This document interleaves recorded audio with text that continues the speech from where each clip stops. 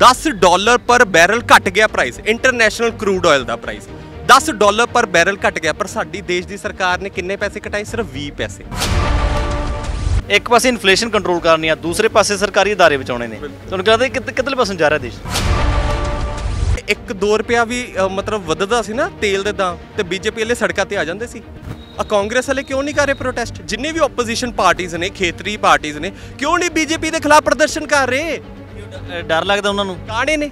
Favour ਲਏ ਹੁੰਦੇ ਆ।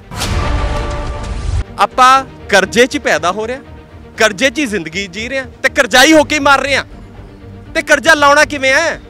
ਅਸੀਂ ਤਾਂ ਹਰ ਚੀਜ਼ ਤੇ ਟੈਕਸ ਭਰ ਰਹੇ ਆ ਇਮਾਨਦਾਰੀ ਤਾਂ ਮਿਹਨਤਾਂ ਕਰ ਰਹੇ ਆ ਆਪਣੀਆਂ ਮਤਲਬ ਚਮੜੀਆਂ ਗਾਲ ਕੇ ਸਰਕਾਰ ਦਾ ਖਜ਼ਾਨਾ ਭਰਦੇ ਆ ਤੇ ਜੇ ਖਜ਼ਾਨਾ, ਆਹ ਮੰਤਰੀ ਦਾ ਸਟੇਟਮੈਂਟ ਸੁਣੋ, ਕਹੂਗਾ ਖਜ਼ਾਨਾ ਖਾਲੀ ਆ ਹਮੇਸ਼ਾ ਪ੍ਰੈਸ ਕਾਨਫਰੰਸ ਕੀ ਹੋ ਰਹੀ ਹੈ ਜੀ? ਅਸੀਂ ਆ ਆਗੂ ਨੂੰ ਸ਼ਾਮਿਲ ਕਰਾਉਣ ਜਾ ਰਹੇ ਹਾਂ। ਜੀ ਆ ਆਗੂ ਨੇ ਆ ਪਾਰਟੀ ਛੱਡਤੀ। ਉਹ ਲੋਕਾਂ ਦੇ ਮੁੱਦੇ ਕਿੱਥੇ ਨੇ? ਹੁਣ ਕਾਂਗਰਸ ਦਾ ਕਾਰਟੂਕੁਲੇਸ਼ਨ ਦੀ ਮ- ਜਿਹੜਾ ਚੱਲਦਾ ਪਿਆ ਸੀ ਪਹਿਲਾਂ ਪਿਛਲੇ ਦਿਨੀ ਤੁਸੀਂ ਦੇਖਿਆ ਹੋਣਾ ਵਾ। ਪੰਜਾਬ ਦੇ ਕਾਂਗਰਸ ਪ੍ਰਧਾਨ ਬਣ ਗਏ ਨੇ ਜਿਹੜੇ ਨਵਜੋਤ ਸਿੰਘ ਸਿੱਧੂ ਨੇ।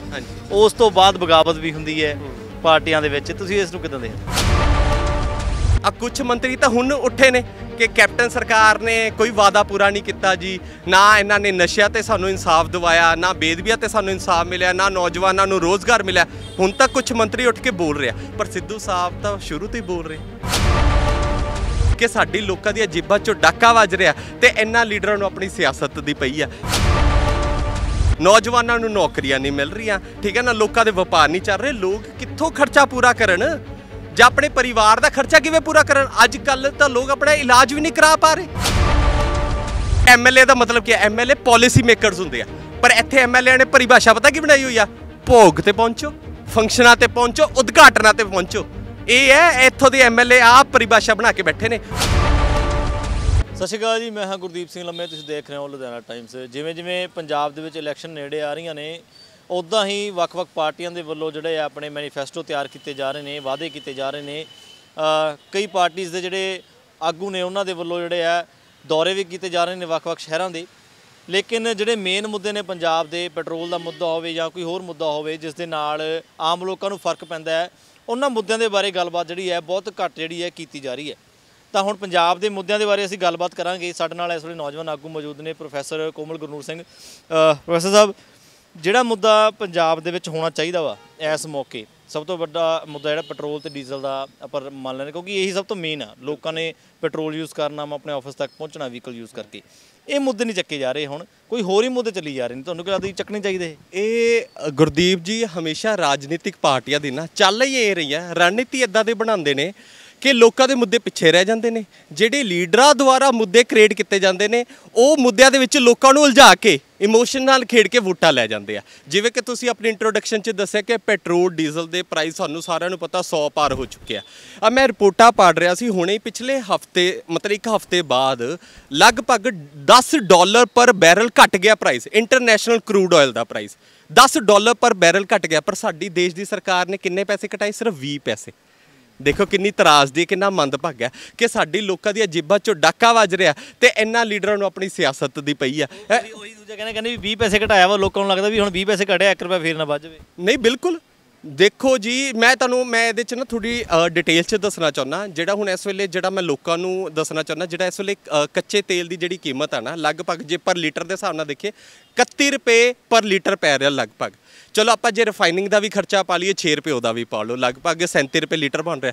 37 ਰੁਪਏ ਤੋਂ ਬਾਅਦ ਜਿੰਨਾ ਵੀ ਪੈਸਾ ਚਾਰਜ ਕਰ ਰਿਹਾ, ਉਹ ਸਾਰਾ ਟੈਕਸ ਹੈ ਦੇਖੋ ਵਰਲਡ ਵਾਈਡ ਹਾਈਐਸਟ ਟੈਕਸੇਸ਼ਨ ਹੈ ਹੁਣ ਪੈਟਰੋਲੀਅਮ ਸਾਡੇ ਦੇਸ਼ 'ਚ, ਤੇ ਇੱਥੇ ਲੋਕਾਂ ਦੇ ਕਾਰੋਬਾਰ ਬੰਦ। ਨੌਜਵਾਨਾਂ ਨੂੰ ਨੌਕਰੀਆਂ ਨਹੀਂ ਮਿਲ ਰਹੀਆਂ। ਠੀਕ ਹੈ ਨਾ, ਲੋਕਾਂ ਦੇ ਵਪਾਰ ਨਹੀਂ ਚੱਲ ਰਹੇ। ਲੋਕ ਕਿੱਥੋਂ ਖਰਚਾ ਪੂਰਾ ਕਰਨ? ਜਾਂ ਆਪਣੇ ਪਰਿਵਾਰ ਦਾ ਖਰਚਾ ਕਿਵੇਂ ਪੂਰਾ ਕਰਨ? ਅੱਜ ਕੱਲ ਤਾਂ ਲੋਕ ਆਪਣਾ ਇਲਾਜ ਵੀ ਨਹੀਂ ਕਰਾ ਪਾ ਰਹੇ। ਇੰਨਾ ਮਤਲਬ ਇੰਨੀ ਮਹਿੰਗਾਈ ਹੋ ਗਈ। ਇਹ ਜਿਹੜੀਆਂ ਸਾਡੀਆਂ ਸਰਕਾਰਾਂ ਟੋਟਲੀ ਫੇਲ ਹੋਈਆਂ ਤੇ ਜਿਹੜੇ ਇਹ ਸਿਆਸਤਦਾਨ ਨੇ ਨਾ, ਇਹਨਾਂ ਨੂੰ ਜੇ ਇਲੈਕਸ਼ਨ ਲੜਨੀ ਚਾਹੀਦੀ ਹੈ ਨਾ, ਉਹ ਲੋਕਾਂ ਦੇ ਮੁੱਦਿਆਂ ਦੀ ਇਲੈਕਸ਼ਨ ਲੜੋ। ਇਹਨਾਂ ਦੀ ਤਾਂ ਰਾਜਨੀਤੀ ਹਮੇਸ਼ਾ ਇਦਾਂ ਦੀ ਰਹੀ ਹੈ ਕਿ ਮਰਜ਼ੀ ਦਾ ਦੁਸ਼ਮਣ ਸਿਲੈਕਟ ਕਰ ਲੈਂਦੇ ਆ। ਫਿਰ ਉਹਨੂੰ ਗਾਲਾਂ ਕੱਢੀ ਜਾਣਗੇ, ਸਾਡੇ ਲੋਕਾਂ ਦੇ ਜਜ਼ਬਾਤਾਂ ਨਾਲ ਖੇਡੀ ਜਾਣਗੇ। ਇਹ ਇਹਨਾਂ ਦੀ ਰਣਨੀਤੀ ਆ ਸਰਕਾਰਾਂ ਜ਼ਿਆਦਾ ਬਿਜ਼ੀ ਨੇ, ਇੱਕ ਦੂਜੇ ਨੂੰ ਪਾਰਟੀ ਦੇ ਜੁਆਇਨ ਕਰਾਉਣ ਦੇ ਵਿੱਚ ਕਈ ਵਿਧਾਇਕ ਨੇ ਆਗੂ ਜਿਹੜੇ ਨਾਰਾਜ਼ ਹੋ ਜਾਂਦੇ ਨੇ, ਫਿਰ ਉਹ ਦੂਜੀ ਪਾਰਟੀ ਜਾਂਦੇ ਨੇ, ਦੂਜੀ ਪੁਆਇੰਟ ਪਾਰਟੀ ਦੇ ਜੁਆਇਨਿੰਗ ਹੋ ਜਾਂਦੀ ਆ, ਫਿਰ ਇੱਧਰਲੇ ਪਾਸੇ ਫਿਰ ਫਸਟ ਪਾਰਟੀ ਦੇ ਵਿੱਚ ਆ ਜਾਂਦੇ ਨੇ। ਇਹ ਵੀ ਸਰਕਾਰਾਂ ਲੱਗਦਾ, ਉਧਰ ਨਹੀਂ ਬਿਜ਼ੀ ਹੋਈਆਂ ਲੱਗਦੀਆਂ ਹੈਗੀਆਂ, ਜ਼ਿਆਦਾ ਵੀ ਇਹਨਾਂ ਵੱਲ ਧਿਆਨ ਨਹੀਂ ਜਾ ਰਿਹਾ। ਇਹ ਬਸ ਡਾਇਵਰਟ ਐਂਡ ਰੂਲ ਪਾਲਿਸੀ ਕਿ ਲੋਕਾਂ ਦੇ ਮੁੱਦਿਆਂ ਤੋਂ ਧਿਆਨ ਕਿਵੇਂ ਹਟਾਉਣਾ ਹੁਣ ਮੈਨੂੰ ਪਤਾ ਲੱਗਿਆ, ਅੱਜ ਦਿੱਲੀ ਦੇ ਮੁੱਖ ਮੰਤਰੀ ਪੰਜਾਬ ਆਏ ਹੋਏ ਨੇ, ਇੱਕ ਟਕਸਾਲੀ ਆਗੂ ਨੂੰ ਕਹਿੰਦੇ ਅਸੀਂ ਜੁਆਇਨ ਕਰਾਉਣ ਜਾ ਰਹੇ ਹਾਂ। ਪਰ ਇਹ ਆ ਨਾ ਕਿ ਠੀਕ ਆ, ਤੁਸੀਂ ਜੁਆਇਨਿੰਗ ਕਰਾਓ। ਇਹ ਡੈਮੋਕ੍ਰੈਟਿਕ ਰਾਈਟ ਆ, ਹਰ ਲੀਡਰ ਕਿਸੇ ਵੀ ਪਾਰਟੀ 'ਚ ਜਾ ਸਕਦਾ। ਪਰ ਤੁਸੀਂ ਰੋਡ ਮੈਪ ਤਾਂ ਦਿਓ। ਏਜੰਡਾ ਤਾਂ ਦੋ, ਜਿਹੜਾ ਇਸ ਵੇਲੇ ਪੰਜਾਬ ਤੇ ਲਗਭਗ 3 ਲੱਖ ਕਰੋੜ ਦਾ ਕਰਜ਼ਾ ਚੜ ਚੁੱਕਾ, ਉਸ ਕਰਜ਼ੇ ਨੂੰ ਉਤਾਰਨਾ ਕਿਵੇਂ ਉਹਦੇ ਬਾਰੇ ਤਾਂ ਦੱਸੋ, ਜਿਹੜਾ ਬੇਰੁਜ਼ਗਾਰੀ ਰੇਟ ਹੈ, ਲਗਭਗ 7.3% ਤੇ ਪਹੁੰਚ ਗਿਆ ਹੈ। ਨੈਸ਼ਨਲ ਐਵਰੇਜ ਰੇਟ ਨਾਲੋਂ ਵੀ ਜ਼ਿਆਦਾ ਹੋ ਗਿਆ ਪੰਜਾਬ ਦਾ ਬੇਰੁਜ਼ਗਾਰੀ ਰੇਟ, ਉਹਦੇ ਬਾਰੇ ਦੱਸੋ ਕਿ ਤੁਸੀਂ EMPLOYMENT ਕਿਵੇਂ ਦੋਗੇ ਨੌਜਵਾਨਾਂ ਨੂੰ? ਰੋਜ਼ਗਾਰ ਦੇ ਸਾਧਨ ਕਿਵੇਂ ਪੈਦਾ ਕਰੋਗੇ? ਉਹਦੇ ਬਾਰੇ ਦੱਸੋ। ਉਹਦੇ ਬਾਰੇ ਕੋਈ ਪ੍ਰੈਸ ਕਾਨਫਰੰਸ ਨਹੀਂ ਕਰਦਾ। ਹਮੇਸ਼ਾ ਪ੍ਰੈਸ ਕਾਨਫਰੰਸ ਕੀ ਹੋ ਰਹੀ ਹੈ ਜੀ? ਅਸੀਂ ਆ ਆਗੂ ਨੂੰ ਸ਼ਾਮਿਲ ਕਰਾਉਣ ਜਾ ਰਹੇ ਹਾਂ। ਜੀ ਆ ਆਗੂ ਨੇ ਆ ਪਾਰਟੀ ਛੱਡਤੀ। ਉਹ ਲੋਕਾਂ ਦੇ ਮੁੱਦੇ ਕਿੱਥੇ ਨੇ? ਤੁਸੀਂ ਦੱਸੋ ਤੁਹਾਡੇ ਕੋਲ ਏਜੰਡਾ ਕੀ ਹੈ? ਤੁਹਾਡੇ ਕੋਲ ਪਾਲਿਸੀਜ਼ ਕੀ ਆ? ਪਾਲਿਸੀ ਬਾਰੇ ਦੱਸੋ। ਜਿਹੜਾ ਇਸ ਵੇਲੇ ਪੰਜਾਬ ਦੇ ਇੰਨੇ ਮਾੜੇ ਹਾਲਾਤ ਬਣ ਚੁੱਕਿਆ ਮਤਲਬ ਜਿਹੜਾ ਦੇਖੋ ਇੰਨਾ ਸੰਕਟ ਆਇਆ, ਉਸ ਸੰਕਟ ਤੋਂ ਤੁਸੀਂ ਪੰਜਾਬ ਨੂੰ ਕੱਢਣਾ ਕਿਵੇਂ ਆ ਬਾਹਰ? ਉਹਦੇ ਬਾਰੇ ਦੱਸੋ। ਹੈ ਨਾ ਕਿ 2022 ਦੀਆਂ ਚੋਣਾਂ ਆ ਗਈਆਂ ਨੇ ਇਸ ਕਰਕੇ ਜਿਹੜਾ ਜ਼ਿਆਦਾ ਹੁਣ ਹਾਵੀ ਹੋ ਚੁੱਕਿਆ ਵਾ ਉਹਨਾਂ ਦੇ ਉੱਤੇ ਕਿ ਜਨਤਾ ਨੂੰ ਜਿਹੜੇ ਆ ਵੋਟ ਲੈਣ ਦੇ ਚੱਕਰ ਦੇ ਵਿੱਚ ਹੁਣ ਵੱਖ-ਵੱਖ ਪਾਰਟੀਆਂ ਦੇ ਏਜੰਡੇ ਜਿਹੜੇ ਆ ਅਜਮਾਏ ਜਾ ਰਹੇ ਨੇ ਇੱਕ ਦੂਜੇ ਬਲੇਮ ਬਲੇਮ ਗੇਮ ਖੇਡੀ ਜਾ ਰਹੀ ਹੈ। ਹੁਣ ਕਾਂਗਰਸ ਦਾ ਕਾਰਟੋਕੁਲੇਸ ਦੀ ਮ- ਜਿਹੜਾ ਚੱਲਦਾ ਪਿਆ ਸੀ ਪਹਿਲਾਂ ਪਿਛਲੇ ਦਿਨੀ ਤੁਸੀਂ ਦੇਖਿਆ ਹੋਣਾ ਵਾ ਪੰਜਾਬ ਦੇ ਕਾਂਗਰਸ ਪ੍ਰਧਾਨ ਬਣ ਗਏ ਨੇ ਜਿਹੜੇ ਨਵਜੋਤ ਸਿੰਘ ਸਿੱਧੂ ਨੇ। ਹਾਂਜੀ। ਉਸ ਤੋਂ ਬਾਅਦ ਬਗਾਵਤ ਵੀ ਹੁੰਦੀ ਹੈ। ਪਾਰਟੀਆਂ ਦੇ ਵਿੱਚ। ਤੁਸੀਂ ਇਸ ਨੂੰ ਕਿਦਾਂ ਦੇਖਦੇ ਹੋ? ਦੇਖੋ, ਮੈਂ ਜੇ ਨਿੱਜੀ ਤੌਰ ਤੇ ਬੋਲਾਂ ਨਾ, ਮੈਂ ਸਰਦਾਰ ਨਵਜੋਤ ਸਿੰਘ ਸਿੱਧੂ ਜੀ ਦਾ ਬਹੁਤ ਸਤਿਕਾਰ ਕਰਦਾ। ਕਿਉਂਕਿ ਸਭ ਤੋਂ ਪਹਿਲਾਂ ਗੁਰੂ ਨਾਨਕ ਨਾਮ ਲੇਵਾ ਸੰਗਤ ਦੀ ਜਿਹੜੀ ਅਰਦਾਸਪੁਰੀ, ਕਰਤਾਰਪੁਰ ਸਾਹਿਬ ਦਾ ਲਾਂਘਾ ਖੁੱਲਿਆ ਤੇ ਸਭ ਤੋਂ ਵੱਡਾ ਜੀ ਯੋਗਦਾਨ ਸੀ ਤੇ ਸਰਦਾਰ ਨਵਜੋਤ ਸਿੰਘ ਸਿੱਧੂ ਜੀ ਦਾ ਸੀ। ਤੇ ਸਿੱਧੂ ਸਾਹਿਬ ਦੀ ਦੂਜੇ ਪਾਸੇ ਮੈਂ ਤਾਂ ਸਿਫਤ ਕਰਦਾ ਕਿ ਉਹਨਾਂ ਨੇ ਹਮੇਸ਼ਾ ਪਾਲਿਸੀਜ਼ ਲਿਆਂਦੀਆਂ ਗੱਲਾਂ ਕੀਤੀਆਂ ਨੇ। ਤੇ ਉਹ ਸਮੇਂ-ਸਮੇਂ ਸਿਰ ਵਿਰੋਧ ਕਰਦੇ ਰਹੇ ਨੇ। ਆ ਕੁਝ ਮੰਤਰੀ ਤਾਂ ਹੁਣ ਉੱਠੇ ਨੇ ਕਿ ਕੈਪਟਨ ਸਰਕਾਰ ਨੇ ਕੋਈ ਵਾਅਦਾ ਪੂਰਾ ਨਹੀਂ ਕੀਤਾ ਜੀ, ਨਾ ਇਹਨਾਂ ਨੇ ਨਸ਼ਿਆਂ ਤੇ ਸਾਨੂੰ ਇਨਸਾਫ ਦਿਵਾਇਆ, ਨਾ ਬੇਦਬੀਆਂ ਤੇ ਸਾਨੂੰ ਇਨਸਾਫ ਮਿਲਿਆ, ਨਾ ਨੌਜਵਾਨਾਂ ਨੂੰ ਰੋਜ਼ਗਾਰ ਮਿਲਿਆ। ਹੁਣ ਤਾਂ ਕੁਝ ਮੰਤਰੀ ਉੱਠ ਕੇ ਬੋਲ ਰਿਹਾ, ਪਰ ਸਿੱਧੂ ਸਾਹਿਬ ਤਾਂ ਸ਼ੁਰੂ ਤੋਂ ਹੀ ਬੋਲ ਰਹੇ। ਉਹਨਾਂ ਨੂੰ ਤਾਂ ਮੈਂ ਬੜੇ ਚਿਰ ਤੋਂ ਸੁਣਦਾ ਆ ਰਿਹਾ ਕਿ ਉਹਨਾਂ ਨੇ ਹਮੇਸ਼ਾ ਬਾਗੀ ਸੋ ਰੱਖੇ ਨੇ ਕਿ ਸਾਡੀ ਸਰਕਾਰ ਕੰਮ ਕਿਉਂ ਨਹੀਂ ਕਰ ਰਹੀ। ਉਹਨਾਂ ਨੇ ਮੈਨੂੰ ਯਾਦ ਹੈ ਕਿ ਤੇਲੰਗਾਨਾ ਵੀ ਵਿਜ਼ਿਟ ਕੀਤਾ ਸੀ, ਜਦੋਂ ਲੋਕਲ ਬਾਡੀ ਮਿਨਿਸਟਰ ਸੀ, ਉਹ ਤੇਲੰਗਾਨਾ ਵਿਜ਼ਿਟ ਕਰਕੇ ਉੱਥੋਂ ਦੀ ਪਾਲਿਸੀ ਸਟੱਡੀ ਕਰਕੇ ਲੈ ਕੇ ਆਏ ਸੀ ਤੇ ਉਹ ਪਾਲਿਸੀ ਇੱਥੇ ਲਾਗੂ ਕਰਾਉਣਾ ਚਾਹੁੰਦੇ ਸੀ। ਉਹ ਲੋਕਾਂ ਦੀ ਭਲਾਈ ਲਈ ਸੀ ਨਾ। ਤੇਲੰਗਾਨਾ ਮਾਈਨਿੰਗ ਪਾਲਿਸੀ ਜਿਸ ਨਾਲ ਆਪਾਂ ਰੇਤ ਮਾਫੀਆ ਮਾਈਨਿੰਗ ਮਾਫੀਆ ਨੂੰ ਨੱਥ ਪਾ ਸਕਦੇ ਉਦੋਂ ਪਾਲਿਸੀ ਲਾਗੂ ਨਹੀਂ ਕੀਤੀ ਕੈਪਟਨ ਸਰਕਾਰ ਨੇ।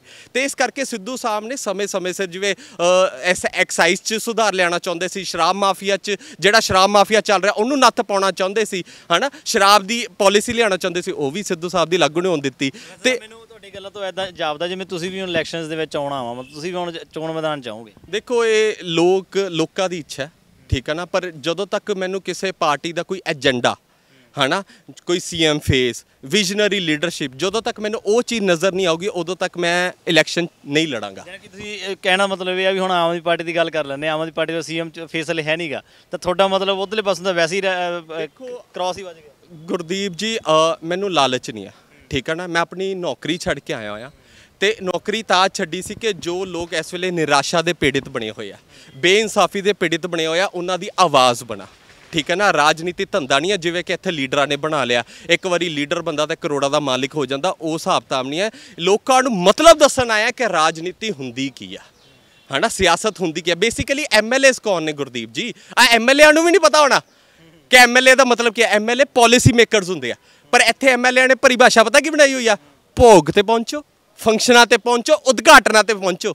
ਇਹ ਹੈ ਇੱਥੋਂ ਦੇ ਐਮਐਲਏ ਆ ਪਰਿਭਾਸ਼ਾ ਬਣਾ ਕੇ ਬੈਠੇ ਨੇ। ਪਰ ਅਸਲੀ ਪਰਿਭਾਸ਼ਾ ਹੈਗੀ ਹੈ ਕਿ ਲਾਅ ਮੇਕਰਸ ਨੇ ਪਾਲਿਸੀ ਮੇਕਰਸ ਨੇ। ਚੰਗੀ ਨੀਤੀਆਂ ਬਣਾਉਣੀਆਂ ਤਾਂ ਐਮਐਲਏਜ਼ ਨੇ ਬਣਾਉਣੀਆਂ। ਇਸ ਕਰਕੇ ਲੋਕਾਂ ਨੂੰ ਵੀ ਹੁਣ ਸੋਚਣ ਦੀ ਲੋੜ ਹੈ। ਹੁਣ ਇਨਫਲੇਸ਼ਨ ਦੀ ਗੱਲ ਕਰ ਲੈਂਦੇ ਇਨਫਲੇਸ਼ਨ ਮਹਿੰਗਾਈ ਜਿਹੜਾ ਲਗਾਤਾਰ ਵੱਧਦੀ ਜਾ ਰਹੀ ਹੈ। ਇੱਕ ਪਾਸੇ ਮਹਿੰਗਾਈ ਲਗਾਤਾਰ ਵੱਧ ਰਹੀ ਹੈ। ਦੂਸਰੇ ਪਾਸੇ ਕੇਂਦਰ ਦੀ ਸਰਕਾਰ ਵਾ ਜਿਹੜੀ ਉਹ ਤੇ ਧਿਆਨ ਨਹੀਂ ਪਾ ਰਹੀ ਹੈਗੀ। ਹੁਣ ਸਾਡੇ ਵਿੱਤ ਮੰਤਰੀ ਨੇ ਜਿਹੜੇ ਨਿਰਮਲਾ ਸੀਤਾਰਮਨ ਜਿਹੜੇ ਨੇ ਉਹਨਾਂ ਦੇ ਵੱਲੋਂ ਵੀ ਹੁਣ ਪਿਛਲੇ ਦਿਨੀ ਜਿਹੜੇ ਆ ਭਾਰਤ ਪੈਟਰੋਲੀਅਮ ਹੋ ਗਿਆ ਹੋਰ ਕਾਫੀ ਜਿਹੜੀਆਂ ਸਰਕਾਰੀ ਅਦਾਰੇ ਨੇ ਸਾਡੇ ਉਹ ਵੇਚਣ ਦੇ ਵਿੱਚ ਲੱਗੇ ਹੋਏ ਨੇ। ਇੱਕ ਪਾਸੇ ਇਨਫਲੇਸ਼ਨ ਕੰਟਰੋਲ ਕਰਨੀ ਆ ਦੂਸਰੇ ਪਾਸੇ ਸਰਕਾਰੀ ਅਦਾਰੇ ਬਚਾਉਣੇ ਨੇ। ਤੁਹਾਨੂੰ ਲੱਗਦਾ ਕਿ ਕਿੱਧਰਲੇ ਪਾਸੋਂ ਜਾ ਰਿਹਾ ਦੇਸ਼? ਗੁਰਦੀਪ ਜੀ ਇਹਦਾ ਨਾ ਜਵਾਬ ਤੁਹਾਡੇ ਸਵਾਲਾਂ 'ਚ ਹੀ ਹੈ ਬੇਸਿਕਲੀ ਸਾਡੀ ਦੇਸ਼ ਦੀ ਆਪੋਜੀਸ਼ਨ ਬਹੁਤ ਜ਼ਿਆਦਾ ਕਮਜ਼ੋਰ ਹੋ ਚੁੱਕੀ ਆ। ਜਦੋਂ ਸਾਨੂੰ ਸਾਰੇ ਲੋਕਾਂ ਨੂੰ ਪਤਾ ਹੈ ਕਿ ਦੇਸ਼ ਦੇ ਇਸ ਵੇਲੇ ਹਾਲਾਤ ਕੀ ਬਣੇ ਹੋਏ ਆ। ਹਾਹਾਕਾਰ ਮੱਚੀ ਪਈ ਆ ਲੋਕੀ ਤਰਾ ਤਰਾ ਕਰ ਰਹੇ। ਵੇਅਰ ਇਜ਼ ਆਪੋਜੀਸ਼ਨ ਹੁਣ ਆ ਕਾਂਗਰਸ ਹੱਲੇ ਮਤਲਬ ਵੀ ਪ੍ਰੋਟੈਸਟ ਉਦਾਂ ਹੀ ਕਰਨੇ ਚਾਹੀਦੇ ਜਿਵੇਂ ਬੀਜੇਪੀ ਨੇ ਪ੍ਰੋਟੈਸਟ ਕੀਤੇ ਸੀਗੇ। ਜੋ ਉੱਥੇ 1-2 ਰੁਪਿਆ ਵੀ ਮਤਲਬ ਵੱਧਦਾ ਸੀ ਨਾ ਤੇਲ ਦੇ ਦਾਮ ਤੇ ਬੀਜੇਪੀ ਵਾਲੇ ਸੜਕਾਂ ਤੇ ਆ ਜਾਂਦੇ ਸੀ। ਆ ਕਾਂਗਰਸ ਵਾਲੇ ਕਿਉਂ ਨਹੀਂ ਕਰ ਰਹੇ ਪ੍ਰੋਟੈਸਟ ਜਿੰਨੇ ਵੀ ਆਪੋਜੀਸ਼ਨ ਪਾਰਟੀਆਂ ਨੇ ਖੇਤਰੀ ਪਾਰਟੀਆਂ ਨੇ ਕਿਉਂ ਨਹੀਂ ਬੀਜੇਪੀ ਦੇ ਖਿਲਾਫ ਪ੍ਰਦਰਸ਼ਨ ਕਰ ਰਹੇ? ਡਰ ਲੱਗਦਾ ਉਹਨਾਂ ਨੂੰ? ਕਾਣੇ ਨੇ? ਫੇਵਰ ਲਏ ਹੁੰਦੇ ਆ। ਜਿਹਦੇ ਕਰਕੇ ਇਹਨਾਂ ਨੂੰ ਡਰ ਲੱਗਦਾ ਕਿ ਕਿੱਥੇ ਸਾਡੇ ਈਡੀ ਦਾ ਰੇਡ ਨਾ ਪੈ ਜੇ ਸੀਬੀਆਈ ਦੀ ਰੇਡ ਨਾ ਪੈ ਜੇ ਇਨਕਮ ਟੈਕਸ ਕਮਿਸ਼ਨਰ ਦੀ ਰੇਡ ਨਾ ਪੈ ਜੇ। ਇਹ ਉਹਨਾਂ ਨੇ ਨਵਜ਼ ਫੜੀ ਹੋਈ ਹੈ ਨਾ ਇਹਨਾਂ ਦੀ, ਜਿਹਦੇ ਕਰਕੇ ਅੱਜ ਆਪੋਜੀਸ਼ਨ ਦੇਖੋ ਕਮਜ਼ੋਰ ਹੈ ਜਿਹੀ ਆਪੋਜੀਸ਼ਨ ਨੇ ਇਮਾਨਦਾਰੀ ਨਾਲ ਕੰਮ ਕੀਤੇ ਹੁੰਦੇ, ਅੱਜ ਮੈਨੂੰ ਲੱਗਦਾ ਕਿ ਆਪੋਜੀਸ਼ਨ ਨੇ ਆਪਣਾ ਰੋਲ ਨਿਭਾ ਨਿਭਾ ਸਕਣਾ ਸੀ। ਉਹ ਆਪ ਹੀ ਨਹੀਂ ਨਿਭਾ ਪਾ ਰਹੇ, ਕਿਉਂਕਿ ਆਪ ਕਾਣੇ ਹੋਏ ਹੋਏ ਆ। ਇਹ ਬੜੀ ਵੱਡੀ ਤਰਾਸ਼ ਦੇ ਹੁਣ ਦੇਖੋ ਕਿਸਾਨ ਅੰਦੋਲਨ ਚੱਲਿਆ, ਆਮ ਲੋਕਾਂ ਨੇ ਅੰਦੋਲਨ ਚਲਾਇਆ। ਜੇ ਸਟੂਡੈਂਟਸ ਅੰਦੋਲਨ ਚਲਾਉਂਦੇ, ਆਮ ਸਟੂਡੈਂਟਸ ਹੀ ਅੰਦੋਲਨ ਚਲਾ ਰਿਹਾ ਆਪੋਜੀਸ਼ਨ ਪਾਰਟੀਆਂ ਕਿੱਥੇ ਆ? ਹੁਣ ਆ ਦੇਖੋ, ਮੈਂ ਤੁਹਾਨੂੰ ਜਿਵੇਂ ਕਿਹਾ ਕਿ 10 ਡਾਲਰ ਪਰ ਬੈਰਲ ਕੀਮਤ ਘਟ ਗਈ ਇੰਟਰਨੈਸ਼ਨਲ ਰੇਟ ਤੇ। ਆਪੋਜੀਸ਼ਨ ਨੇ ਇਸ ਚੀਜ਼ ਦਾ ਰੌਲਾ ਕਿਉਂ ਨਹੀਂ ਪਾਇਆ? ਕਿਉਂ ਨੈਸ਼ਨਲ ਲੈਵਲ ਤੇ ਇਸ ਚੀਜ਼ ਦਾ ਤੁਸੀਂ ਪ੍ਰੋਟੈਸਟ ਕਿਉਂ ਨਹੀਂ ਕੀਤਾ? ਸਿਰਫ 20 ਪੈਸੇ ਘਟਾਏ ਆ। ਅੱਜ ਲੋਕਾਂ ਦਾ ਹਾਲਾਤ ਦੇਖੋ, ਅੱਜ ਪਤਾ ਕੀ ਹੈ, ਹਾਲਾਤ ਕੀ ਬਣ ਗਿਆ? ਗੁਰਦੀਪ ਜੀ, ਆਪਾਂ ਕਰਜ਼ੇ 'ਚ ਹੀ ਪੈਦਾ ਹੋ ਰਿਹਾ ਕਰਜ਼ੇ 'ਚ ਹੀ ਜ਼ਿੰਦਗੀ ਜੀ ਰਹੇ ਆ ਤੇ ਕਰਜ਼ਾਈ ਹੋ ਕੇ ਮਾਰ ਰਹੇ ਆ ਤੇ ਕਰਜ਼ਾ ਲਾਉਣਾ ਕਿਵੇਂ ਹੈ? ਅਸੀਂ ਤਾਂ ਹਰ ਚੀਜ਼ ਤੇ ਟੈਕਸ ਭਰ ਰਹੇ ਆ ਇਮਾਨਦਾਰੀ ਤਾਂ ਮਿਹਨਤਾਂ ਕਰ ਰਹੇ ਆ ਆਪਣੀਆਂ ਮਤਲਬ ਚਮੜੀਆਂ ਗਾਲ ਕੇ ਸਰਕਾਰ ਦਾ ਖਜ਼ਾਨਾ ਭਰਦੇ ਆ। ਤੇ ਜੇ ਖਜ਼ਾਨਾ ਮੰਤਰੀ ਦਾ ਸਟੇਟਮੈਂਟ ਸੁਣੋ ਕਹੂਗਾ ਖਜ਼ਾਨਾ ਖਾਲੀ ਆ। ਉਹ ਤਾਂ ਕਈ ਸਾਲਾਂ ਤੋਂ ਚੱਲਦਾ ਹੁੰਦਾ। ਜਿਹੜੀ ਮਰਜ਼ੀ ਸਰਕਾਰ ਹੈ ਸਾਰੀ ਕਹਿੰਦੇ ਖਜ਼ਾਨਾ ਖਾਲੀ ਹੈ ਖਜ਼ਾਨਾ ਖਾਲੀ ਹੈ ਮੇਰੀ ਗੱਲ ਸੁਣੋ ਤੁਸੀਂ ਇਹ ਕੱਪੜੇ ਲੀੜੇ ਖਰੀਦੇ ਤੁਸੀਂ ਵੀ ਟੈਕਸ ਭਰਿਆ। ਤੁਸੀਂ ਘੜੀ ਪਾਈ ਹੋਈ ਘੜੀ ਖਰੀਦੀ ਟੈਕਸ ਭਰਿਆ। ਆ ਮਾਈਕ ਫੜਿਆ ਮਾਈਕ ਖਰੀਦਿਆ ਟੈਕਸ ਭਰਿਆ। ਆਪਾਂ ਤਾਂ ਹਰ ਚੀਜ਼ ਤੇ ਟੈਕਸ ਭਰਿਆ ਫਿਰ ਵੀ ਸਾਡੇ ਲੋਕਾਂ ਵਾਸਤੇ ਖਜ਼ਾਨਾ ਖਾਲੀ। ਅੱਜ ਆਪਾਂ ਲੁਧਿਆਣੇ ਖੜਿਆ ਮੈਂ ਕਹਿੰਦਾ ਗੁਰਦੀਪ ਜੀ ਆਪਾਂ ਆ ਕੈਮਰਾ ਚੱਕੋ। ਆਓ ਆਪਾਂ ਲੋਕਾਂ ਦਾ ਆ ਮਤਲਬ ਸਰਕਾਰਾਂ ਨੂੰ ਨਾ ਦ੍ਰਿਸ਼ ਦਿਖਾਈਏ। ਸੜਕਾਂ ਸਾਰੀਆਂ ਹੀ ਟੁੱਟੀਆਂ ਪਈਆਂ। ਇਹ ਸਮਾਰਟ ਸਿਟੀ ਕਹਿੰਦੇ ਆਪਾਂ ਇਹਨੂੰ। ਇੱਕ ਮੀਂਹ ਪੈਂਦਾ ਸਵਿਮਿੰਗ ਪੂਲ ਬਣ ਜਾਂਦਾ ਲੁਧਿਆਣਾ। ਤੇ ਸਾਡੇ ਜਿਹੜੇ ਵਧੀਆ ਲੁਧਿਆਣਾ ਨੂੰ ਸਵੀਮਿੰਗ ਪੂਲ ਮਿਲ ਜਾਂਦਾ ਆਰਾਮ ਦੇ ਨਾਲ। ਨਾਲੇ ਜਿਹੜੇ ਸਾਡੇ ਬਲਾਈਂਡ ਫਾਲੋਅਰਸ ਨੇ ਨਾ ਉਹ ਕਹਿੰਦੇ ਆ ਕਿ ਜਿਹੜੇ ਸਾਡੇ ਲੀਡਰਸ ਨੇ ਨਾ ਇੱਥੋਂ ਦੇ ਲੋਕਲ ਲੀਡਰਸ ਜਿਹੜੇ ਮ- ਮੌਜੂਦਾ ਸਰਕਾਰ ਦੇ ਕਹਿੰਦੇ, ਇਹ ਡਿਵੈਲਪਮੈਂਟ ਵਾਲੇ ਲੀਡਰ ਨੇ। ਉਹ ਮੈਨੂੰ ਇਹ ਨਹੀਂ ਸਮਝ ਆਉਂਦੀ, ਉਹਨਾਂ ਨੂੰ ਡਿਵੈਲਪਮੈਂਟ ਤੇ ਅੰਡਰ ਡਿਵੈਲਪਿੰਗ ਦਾ ਮਤਲਬ ਹੀ ਨਹੀਂ ਪਤਾ। ਡਿਵੈਲਪਮੈਂਟ ਤਾਂ ਹੁੰਦਾ ਜੇ ਪੂਰਾ ਤਿਆਰ ਹੋ ਜੇ, ਹਲੇ ਤਾਂ ਇੱਦਾਂ ਹੀ ਅੱਧੇ ਵਿਚਾਲਾ ਪ੍ਰੋਜੈਕਟ ਇਹ ਸ਼ੁਰੂ ਕਰਾ ਦਿੰਦੇ ਆ, ਉਹ ਦੋ ਦੋ ਪ੍ਰੋਜੈਕਟ ਉਧਰੋਂ ਸ਼ੁਰੂ ਕਰਾਤੇ ਪ੍ਰੋਜੈਕਟ ਡਿਲੇ ਕਰਾਈ ਜਾਣੇ ਆ। ਹੁਣ ਆ ਜਗਰਾਓ ਪੁੱਲ ਵਾਲਾ ਪ੍ਰੋਜੈਕਟ ਸੀ, ਠੀਕ ਆ ਨਾ? 6 ਮਹੀਨੇ ਦਾ ਪ੍ਰੋਜੈਕਟ ਸੀ 4 ਸਾਲ ਲੱਗ ਗਏ। ਤੇ ਉਸ ਤੋਂ ਬਾਅਦ ਉਹ ਤੇ ਦੋਸ਼ ਵੀ ਲੱਗੇ ਕਿ ਕਪਲਾ ਵੀ ਹੋ ਗਿਆ। ਇਹ ਤਾਂ ਸਾਡੇ ਲੋਕਾਂ ਦਾ ਪੈਸਾ ਲੁੱਟਣ ਦਾ ਜ਼ਰੀਆ ਬਣ ਜਾਂਦਾ ਹੈ। ਜਿੰਨਾ ਪ੍ਰੋਜੈਕਟ ਡਿਲੇ ਹੋਊਗਾ ਉਨੇ ਹੀ ਸਾਡੇ ਲੋਕਾਂ ਦੀਆਂ ਜੇਬਾਂ 'ਚੋਂ ਡਾਕਾ ਪੈ ਰਿਹਾ। ਇਹ ਲੋਕਾਂ ਨੂੰ ਸਮਝਣ ਦੀ ਲੋੜ ਹੈ। ਪੰਜਾਬ ਦੇ ਮੁੱਦੇ ਤੁਹਾਡੇ ਹਿਸਾਬ ਨਾਲ ਕੀ ਹੋਣੇ ਚਾਹੀਦੇ ਨੇ? ਦੇਖੋ ਸਭ ਤੋਂ ਵੱਡਾ ਇਸ ਵੇਲੇ ਜਿਹੜਾ ਮੌਜੂਦਾ ਮੈਂ ਸਮਝਦਾ ਕਿ ਨੌਜਵਾਨਾਂ ਦਾ ਜਿਹੜਾ ਬੇਰੁਜ਼ਗਾਰੀ ਦਾ ਮੁੱਦਾ ਬਹੁਤ ਵੱਡਾ ਮੁੱਦਾ ਹੈ। ਮਤਲਬ ਗੁਰਦੀਪ ਜੀ, ਸਾਡੀਆਂ ਸਰਕਾਰਾਂ ਦਾ ਧਿਆਨ ਹੀ ਨਹੀਂ ਹੈਗਾ। ਬੇਸਿਕਲੀ ਸਾਡੀ ਸਰਕਾਰਾਂ ਨੇ ਨਾ ਇੱਕ ਬੜੀ ਮਤਲਬ ਰਣਨੀਤੀ ਤਹਿਤ ਇੱਕ ਪਲੈਨਿੰਗ ਬਣਾ ਲਈ ਹੈ ਕਿ ਨੌਜਵਾਨਾਂ ਨੂੰ ਅਸੀਂ ਬੇਉਮੀਦੇ ਕਰਨਾ ਹੁਣ ਆ ਦੇਖੋ, ਪਟਵਾਰੀ ਦੀਆਂ ਪੋਸਟਾਂ ਨਿਕਲੀਆਂ, ਠੀਕ ਹੈ ਨਾ? 1100 ਸਮਥਿੰਗ ਪੋਸਟਾਂ ਨਿਕਲੀਆਂ। ਤੇ ਕਿੰਨੀਆਂ ਐਪਲੀਕੇਸ਼ਨਸ ਫਾਰਮ ਆਈਆਂ? ਤੁਸੀਂ ਵੀ ਖਬਰ ਚਲਾਈ, ਲਗਭਗ ਸਵਾ ਦੋ ਲੱਖ ਐਪਲੀਕੇਸ਼ਨ ਫਾਰਮਸ ਆਈਆਂ, ਠੀਕ ਹੈ ਨਾ? ਉਹ ਕੌਣ ਹੈ ਨੌਜਵਾਨ? ਬੇਰੁਜ਼ਗਾਰ। ਤੇ ਹੁਣ ਕਹਿੰਦੇ ਅਸੀਂ ਫਿਰ ਪਟਵਾਰੀਆਂ ਦੀ ਭਰਤੀ ਕਰਨੀ ਆ ਤੇ ਉਹਦੇ ਚ ਕਿੰਨੂੰ ਭਰਤੀ ਕਰਨ ਜਾ ਰਿਹਾ? ਜਿਹੜੇ ਸੇਵਾ ਮੁਕਤ ਪਟਵਾਰੀ ਨੇ ਜਾਂ ਕਾਨੂੰਨ ਉਹ ਯਾਰ ਨੌਜਵਾਨਾਂ ਨੂੰ ਤਾਂ ਹੱਕ ਦੇ ਦਿਓ ਆ ਜਿਹੜੇ ਕਾਂਗਰਸ ਦੇ ਨੌਜਵਾਨ ਆ, ਮਤਲਬ ਐਨਐਸਯੂਆਈ ਬਣਿਆ ਹੋਇਆ ਜਾਂ ਇਹਨਾਂ ਦੀ ਯੂਥ ਕਾਂਗਰਸ ਬਣੀ, ਉਹ ਕਿਉਂ ਨਹੀਂ ਆਵਾਜ਼ ਬੁਲੰਦ ਕਰਦੇ? ਉਦਾਂ ਇਹਨਾਂ ਦੇ ਯੂਥ ਲੀਡਰਾਂ ਦੇ ਮੈਂ ਮੈਂ ਜੇ ਇਹਨਾਂ ਦੀ ਇੰਟਰਵਿਊਜ਼ ਦੇਖਦਾ, ਕਹਿੰਦੇ ਹੀ ਨੌਜਵਾਨਾਂ ਦੇ ਹੱਕਾਂ ਦੇ ਰਖਵਾਲੇ ਆ। ਅਸੀਂ ਨੌਜਵਾਨ ਨੂੰ ਹੱਕ ਦਵਾ ਕੇ ਰਵਾਂਗੇ, ਅਸੀਂ ਨੌਜਵਾਨਾਂ ਨੂੰ ਰਿਪਰੈਜ਼ੈਂਟੇਸ਼ਨ ਦਵਾ ਕੇ ਰਵਾਂਗੇ। ਜਦੋਂ ਨੌਜਵਾਨ ਦੇ ਹੱਕ ਤੁਹਾਡੀ ਸਰਕਾਰ ਦੁਆਰਾ ਮਾਰੇ ਜਾ ਰਿਹਾ ਉਦੋਂ ਕਿਉਂ ਨਹੀਂ ਆਵਾਜ਼ ਬੁਲੰਦ ਕਰ ਰਹੇ?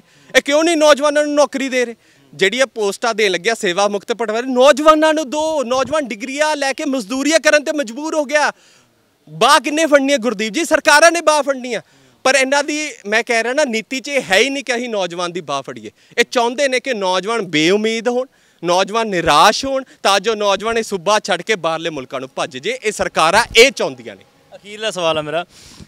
ਹੁਣ ਨੌਜਵਾਨ ਜਿਹੜੇ ਨੇ ਵੈਸੇ ਹੀ ਪਹਿਲਾਂ ਹੀ ਬਹੁਤ ਨੌਜਵਾਨ ਜਿਹੜੇ ਬਾਹਰ ਜਾ ਚੁੱਕੇ ਨੇ ਹੋਰ ਅੱਧੇ ਤੋਂ ਜ਼ਿਆਦਾ ਜਿਹੜੇ ਜਾਣ ਨੂੰ ਤਿਆਰ ਬੈਠੇ ਹੋਏ ਨੇ ਨਾ। ਤੁਹਾਨੂੰ ਕੀ ਲੱਗਦਾ ਵੀ ਨੌਜਵਾਨਾਂ ਨੂੰ ਕਿਸ ਤਰ੍ਹਾਂ ਇੱਥੇ ਟਿਕਾਇਆ ਜਾ ਸਕਦਾ ਹੈ? ਦੇਖੋ ਚੰਗਾ ਸਿਸਟਮ ਕਰਪਸ਼ਨ ਫ੍ਰੀ ਸਿਸਟਮ ਲੋਕਾਂ ਦੀ ਕਦਰ ਠੀਕ ਹੈ ਤੇ ਰੋਜ਼ਗਾਰ ਦੇ ਸਾਧਨ। ਜਦੋਂ ਆਪਾਂ ਇਹ ਚੀਜ਼ ਨੌਜਵਾਨਾਂ ਨੂੰ ਦੇਣ ਚ ਕਾਮਯਾਬ ਹੋ ਗਏ ਨਾ ਤਾਂ ਨੌਜਵਾਨ ਇੱਥੇ ਖੁਸ਼ੀ-ਖੁਸ਼ੀ ਰਹਿ ਸਕਦਾ। ਹੁਣ ਨੌਜਵਾਨ ਕੁੜੀਆਂ ਨੂੰ ਤੁਸੀਂ ਮਿਲੋ। ਉਹ ਕਹਿੰਦੇ ਕਿ ਅਸੀਂ 7-8 ਵਜੇ ਤੋਂ ਬਾਅਦ ਸਾਨੂੰ ਪੇਰੈਂਟਸ ਅਲਾਉ ਨਹੀਂ ਕਰਦੇ ਬਾਹਰ ਕਿਉਂਕਿ ਮਾਹੌਲ ਨਹੀਂ ਠੀਕ। ਇਹ ਮਾਹੌਲ ਠੀਕ ਕਿੰਨੇ ਕਰਨਾ ਗੁਰਦੀਪ ਜੀ? ਦੁਬਈ 'ਚ ਤਾਂ ਕੋਈ ਕੁੜੀ ਨੂੰ ਹੱਕ ਛੱਕ ਕੇ ਵੀ ਨਹੀਂ ਦੇਖਦਾ। ਇੱਥੇ ਕਿਉਂ ਡਰ ਹੈ? ਨਾਲੇ ਇੱਥੇ ਡਰ ਆਮ ਲੋਕਾਂ ਦੇ ਵਿੱਚ ਕਿਉਂ ਹੈ?